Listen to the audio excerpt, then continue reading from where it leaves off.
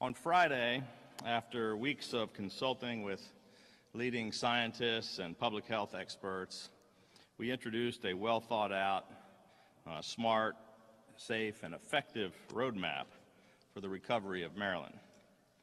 The key numbers which we remain most focused on are, and that we're watching very closely on a day to day basis, are the rate of hospitalizations and the number of patients admitted to the ICU.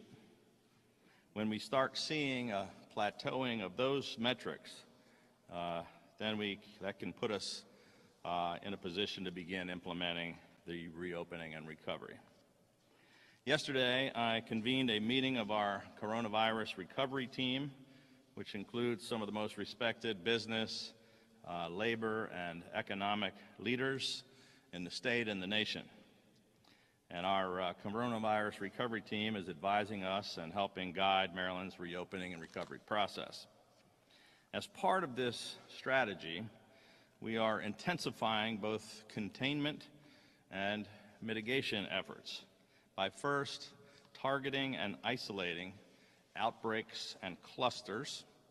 Second, redoubling our attention and resources on hotspot areas with the highest concentration of cases and third, mitigation uh, to stop the spread uh, of the virus in other areas of the state. We are no longer just playing defense, we are going on offense against this virus, attacking it from every angle uh, with everything we've got.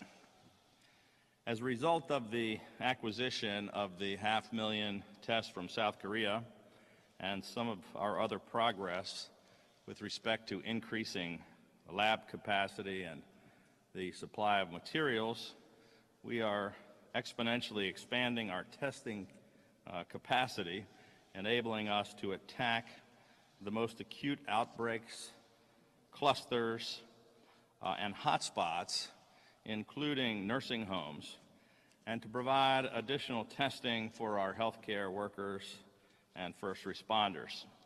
It also helps us expand and increase uh, community-based testing, like the two additional drive-through test sites at vehicle emissions inspection stations, which we just opened. We now have seven of those open and operational across the state.